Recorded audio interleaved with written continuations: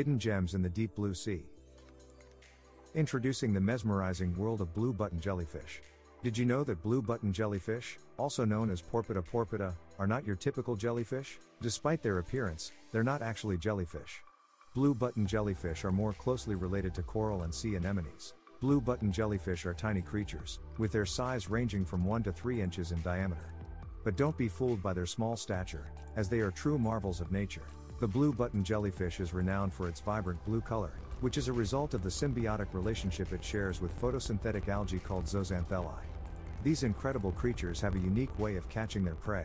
They use venomous tentacles to immobilize small fish and other organisms that come too close. Blue button jellyfish can be found in warm coastal waters around the world, particularly in tropical and subtropical regions. So next time you're at the beach, keep an eye out for these fascinating creatures and appreciate the beauty and diversity of the ocean.